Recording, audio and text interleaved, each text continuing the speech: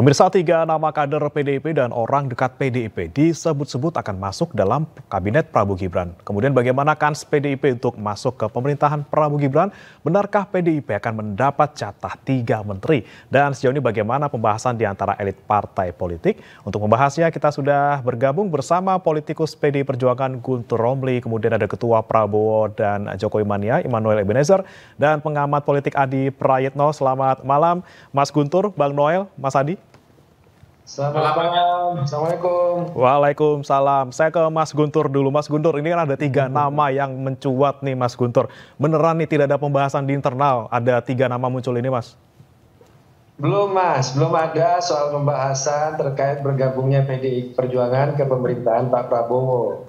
Jadi itu masih uh, sebatas isu rumor yang ada di luaran hmm Karena kalau di PDI Perjuangan kan tetap menunggu keputusan dari Ibu Ketua Umum uh, Ibu Megawati Soekarno Putri mm-hmm. terkait apakah akan bergabung dalam pemerintahan atau tetap berada di luar. Jadi sampai sekarang kami masih menunggu keputusan tersebut.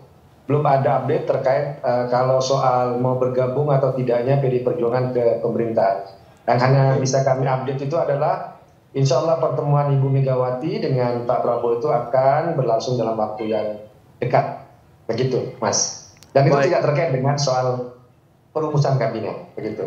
Nah, kan tidak akan ada asap kalau tidak ada api nih, Mas Guntur. Kenapa bisa ada muncul tiga nama? Apakah memang ada kusak-kusuk di sekitar PDIP juga yang menyuarakan hal itu? Dan kenapa kemudian tidak akan ada dibahas nanti dalam pertemuan Mega dan Prabowo soal kans PDIP gabung ke pemerintahan Pak Prabowo?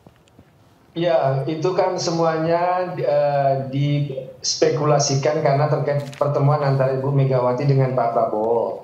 Akhirnya kan disebut-sebutkan bahwa itu juga akan pembahasan soal nama-nama kader PDI Perjuangan yang akan uh, bergabung, ya kan? Hmm. Spekulasinya seperti itu, isunya kan seperti itu. Yeah. Tapi uh, kami ingin menegaskan bahwa belum ada keputusan dari Ibu Ketua Umum soal apakah PDI Perjuangan akan uh, bergabung ya atau di hmm. luar. Kemungkinan bisa terjadi Mas karena nantilah hasil pertemuan itu uh, bisa kita dengarkan bersama-sama. Karena selama belum ada pertemuan kami juga belum bisa bicara banyak. Hmm.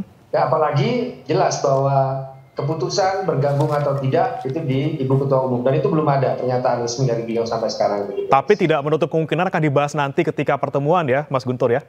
Ya bisa jadi karena kan ini kan pertemuan uh, informal, hmm. jadi bisa pertemuan yang membahas apa saja, ya bisa nostalgia dan juga bisa untuk merencanakan ke depan dan itu uh, tidak terbatas ya soal tema-tema pembicaraan nantinya antara Ibu Megawati dengan Pak Prabowo itu. Baik, saya ke Bang Noel. Bang Noel, betulkah memang belum ada komunikasi apa pun dengan PDIP sebelum terjadinya pertemuan Megawati dan Pak Prabowo? Apakah benar-benar tidak ada eh, informasi yang masuk ke Pak Prabowo soal tiga nama ini, Bang Noel? Nah, kalau soal itu saya uh, apa tidak terlalu tahu ya soal tiga uh, nama yang disampaikan yang muncul beberapa hari ini tapi setahu saya Pak Prabowo kan tadi uh, beberapa hari ini ada tiga syarat lah menjadi ketentuan dasar yang menjadi syarat di kabinetnya Pak Prabowo nanti. Hmm. Yang pasti ya putra putri terbaik uh, Bang Felicia. Itu. Nah salah satu dari tiga syarat itu adalah integriti dan loyalitas juga uh, capability. Nah uh, saya yakin uh, seperti Pak BG, Tuan Anas juga Olil Kambi, uh, mereka punya uh, uh, apa kapasitas lah ya, kapasitas, punya integritas dan loyalitas. Tapi kan loyalitasnya pasti mereka ke partainya dan ya. juga ke Bu Mega. Hmm. Apakah mereka Ya. Bang Noel.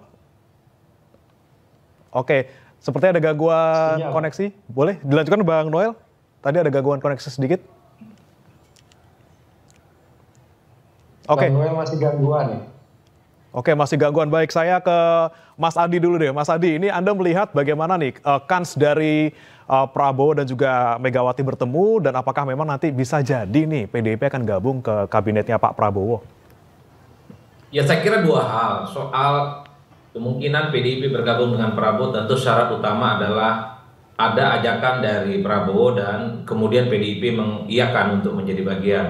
Jadi tanpa ada mutual interesting ini saya kira soal kemungkinan koalisi Prabowo dan Megawati, Gerindra dan PDIP kan tidak mungkin terjadi. Atau sebaliknya PDIP ingin bergabung, tapi kalau tidak diajak kan akan bertepuk sebelah tangan. Hmm. Jadi ini yang sepertinya membuat masih soal kemungkinan koalisi PDIP dengan Prabowo itu 50-50. Nah yang kedua saya membaca sepertinya memang ada kendala psikologi politik yang sebelum sepenuhnya tuntas ya, hmm. terutama di internal eh, kawan-kawan PDIP saat misalnya kalau berkoalisi dengan Prabowo Subianto karena apa pun judulnya wakilnya itu adalah Gibran Raka Buming Raka yang saya kira merupakan replika dari politiknya Jokowi. Jadi ya. jarak psikologis yang semacam ini bisa saja menjadi barrier dan menjadi hambatan bagi PDIP untuk menjadi bagian dari kekuasaan politik pemerintah dan kemudian ada kader PDIP yang kemudian menjadi menteri. Kan soal koalisi politik itu kan tidak harus jadi menteri bisa saja koalisinya di pilkada, bisa saja koalisinya itu di parlemen dengan alat-alat kelengkapan dewan. Saya kira tidak adanya upaya untuk mengotak-atik undang-undang MD3 hmm. yang kemudian mengesahkan kembali Puan Maharani sebagai ketua DPR. Ini kan menegaskan satu hubungan yang cukup harmonis, khususnya Prabowo Subianto dengan PDIP. Karena kalau Prabowo dengan PDIP ini tidak baik-baik saja, undang-undang MD3 bisa berubah dan ketua DPR bukan lagi Puan Maharani seperti yang terjadi dalam pemilu 2014 yang lalu di mana saat itu PDIP sebagai pemenang Pilpres juga pemenang Pileg tapi tidak otomatis didapur sebagai ketua DPR karena undang-undang MD3-nya itu diubah. Ya.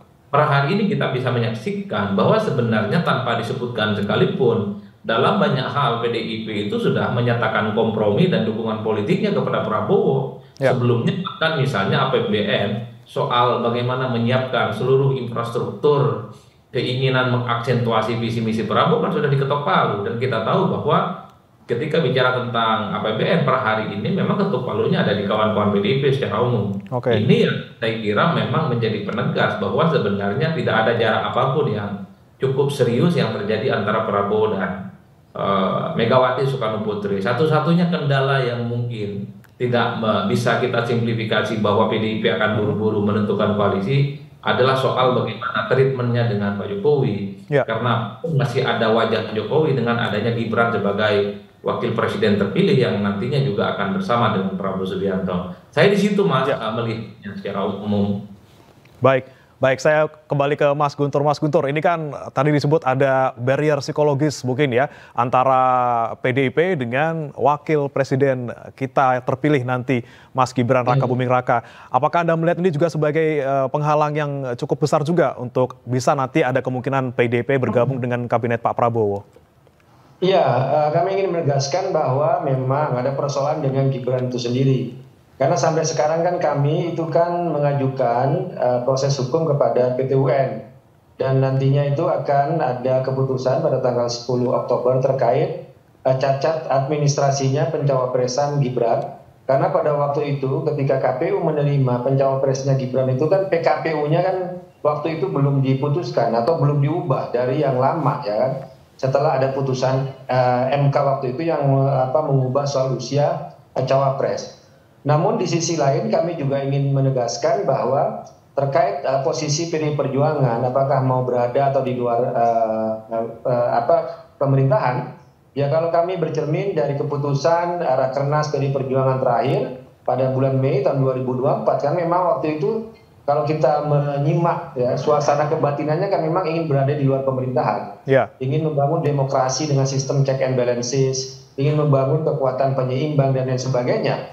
Jadi kalau membaca di situ memang adalah uh, berada di luar pemerintahan. Namun benar juga seperti kata Mas uh, Adi tadi bahwa komunikasi antara PDI Perjuangan dengan Gerindra dengan Pak Prabowo juga uh, belakangan ini juga sangat baik ya. ya. Terkait misalnya sama-sama mengawal putusan MK soal tidak merevisi Undang-Undang Pilkada, mm -hmm. kemudian juga menunda uh, revisi Undang-Undang TNI dan Polri. Ya, ini yang juga merupakan suara dari publik termasuk juga tidak ya. mengotak-atik Undang-Undang MD3. Jadi komunikasi itu itu baik menurut, menurut kami dan itu mendasari uh, pertemuan antara Pak Prabowo dengan Ibu Mega nanti. Tapi kalau soal mau bergabung dalam kabinet ya hmm. atau tetap berada di luar pemerintahan ya terus terang itu semua ada di keputusan Ibu Ketua Umum dan kami belum ada update untuk uh, keputusan okay. tersebut. Demikian, Mas. Baik, nanti saya mau bertanya ke Bang Noel terkait hitung-hitungannya bagaimana nih kalau misalnya memang PDIP akan bergabung dengan uh, Pak Prabowo dan juga Mas Gibran, tapi jangan dijawab dulu, Bang Noel kita akan lanjutkan dialognya setelah jeda yang satu ini. Tetap di iNewsroom.